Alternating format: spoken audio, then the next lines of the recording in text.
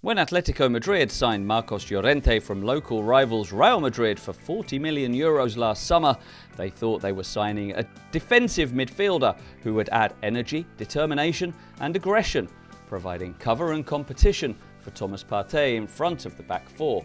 After all, Llorente was a player who had made 54 appearances in La Liga over the course of his four seasons as a professional, scoring a grand total of zero goals and making just one assist. Not exactly a threat in the opposition's final third. After coming through Real Madrid's youth system, Llorente really sprang to prominence with an excellent season on loan at Alaves in 2016-17. He made 32 appearances as the Basque club surprisingly finished in the top half of the table, establishing a reputation for himself as one of Spain's finest young combative midfielders. Particularly eye-catching was Llorente's performance in Alaves' shock 2-1 victory at reigning champions Barcelona in September 2016, only his second start at senior level. And that game at the Camp Nou can be seen as a good blueprint for the style of player we all thought Llorente would become. He was defensively excellent, making a game-high six tackles and pressing the opposition in possession 24 times. With the ball, he was a negligible presence. He only made 24 passes and barely touched the ball inside the Barcelona half. But that did not matter because it wasn't his job. He was there to protect the back four, which he did really well. And for the next few years, Llorente was regarded as a player in the same mould as Casemiro or Sergio Busquets, a defensive midfielder. Of course, the most significant wider effect of Llorente's stunning two-goal haul in the space of eight minutes of extra time against Liverpool in March was to dump out the Champions League title holders and keep alive Atletico's hopes of finally being crowned Kings of Europe.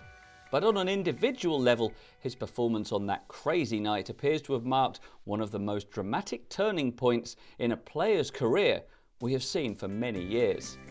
Suddenly, Llorente is now no longer a deep-lying defensive protector. Instead, he is chiefly an attacking presence, breaking open opposition defences to create or take goal-scoring chances. The transformation really is staggering.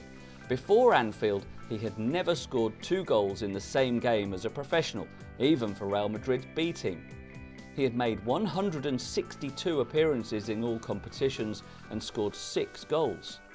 Since Anfield, he scored three in six games and recorded three assists for extra measure. We're told that Diego Simeone saw the attacking potential in Llorente as far back as November, but if that's the case, it was never really evident until that night on Merseyside. A few days before the game at Liverpool, Llorente played the full 90 minutes in a 2-2 draw with Sevilla. The action maps show that most of his contributions came around the halfway line, while he didn't touch the ball inside the opposition penalty box even once. Atletico's game at Levante last Tuesday, though, saw a completely different Llorente. He had seven touches of the ball inside Levante's area and only four inside his own half. The amazing thing is not just that Llorente is playing in a new position, but that he's doing it so well. Anfield, it appears, was not just a freakish one-off, but the start of something special. His performance off the bench at Osasuna in the second game after the restart was truly remarkable. In 28 minutes on the pitch, he scored once and added two assists, matching his entire career's assist total in less than half an hour. On Tuesday, Llorente will be returning to the site of his first major triumph, the Camp Nou, and he will do so as a very different player from the defensive midfielder who helped Alaves to their memorable win in 2016.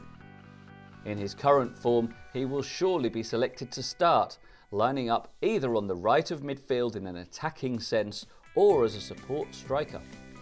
And the way he's playing right now, don't be surprised if the former Real Madrid man shocks Barca again to help his old club towards the title.